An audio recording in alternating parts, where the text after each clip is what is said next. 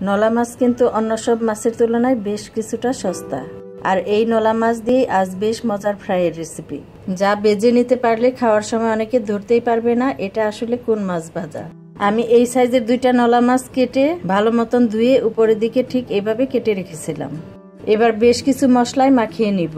প্রথমে দিচ্ছি এক টেবিল চামচ হলুদ গুঁড়া, দেড় টেবিল চামচ লাল মরিচ গুঁড়া, হাফ চা চামচ আদা বাটা, রসুন বাটা হাফ চা চামচ। পেঁয়াজ বাটাও হাফ চা চামচ। সামান্য একটু গোলমরিচ গুঁড়াও দিচ্ছি। এবার দিচ্ছি স্বাদ মতো লবণ। হাফ চা চামচ লাইট সয়া সস দিচ্ছি। এবার সব কিছু ভালো মতো মাখিয়ে নিব। মাঝারি সাইজের লেবু অর্ধেক করে রস করে দিয়ে দিচ্ছি। লেবুর রস দিয়ে আবার মাখিয়ে নিতে হবে। সামান্য একটু পানি দিয়ে আবার সবকিছু ভালোভাবে মিশিয়ে নিচ্ছি। এই মশলাটা মাখিয়ে আপনারা বেগুনও ভেজে নিতে পারবেন। বেশ ভালো লাগবে। মশলা মাখানো হয়ে গেলে মাছের গায়ে দুই পাশে লাগিয়ে নিচ্ছি। সব দিকে ভালো মতো লাগিয়ে নিতে হবে।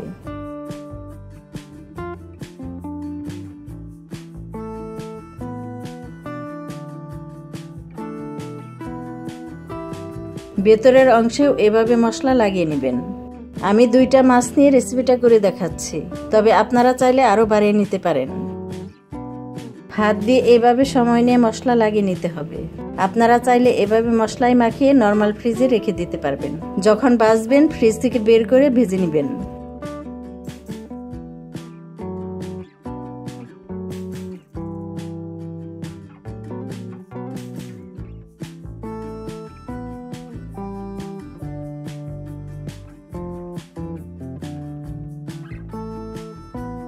সময় নিয়ে মাছ দুটোকে মশলায় মাখিয়ে ফেলার পর অন্য আরেকটা পাত্রে নিচ্ছি এক কাপ বেসন আর চালের গুঁড়া এক কাপ।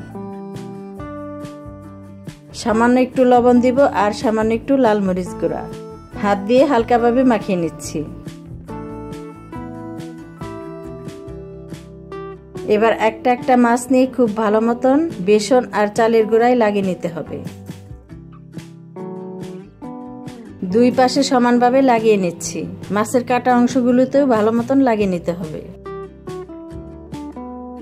বেসন আর চালের গুঁড়া লাগিয়ে নেওয়ার পর গরম তেলে দিয়ে ভালোভাবে দুই পাশে ভেজে নিচ্ছি। চোলার আঁচ প্রথমে বাড়িয়ে রাখতে হবে। এরপর মিডিয়ামে রেখে দুই পাশে উল্টিয়ে ভেজে নেবেন।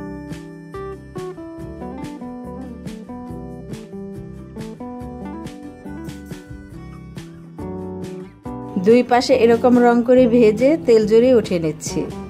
গরম গরম ভাত অথবা খালি এভাবে খেতেও এই মাছ ভাজাটা ভালো লাগে। এরকম দুইটা মাছ ভেজে অর্ধেক করে চারজন খেতে পারবেন। আজকের মতো বিদায় নিচ্ছি। সবাই ভালো থাকবেন, সুস্থ থাকবেন। আল্লাহ হাফেজ।